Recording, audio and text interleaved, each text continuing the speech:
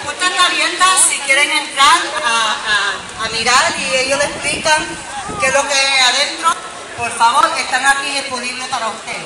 Uh, ah, sorry, I'm not supposed to know. Um,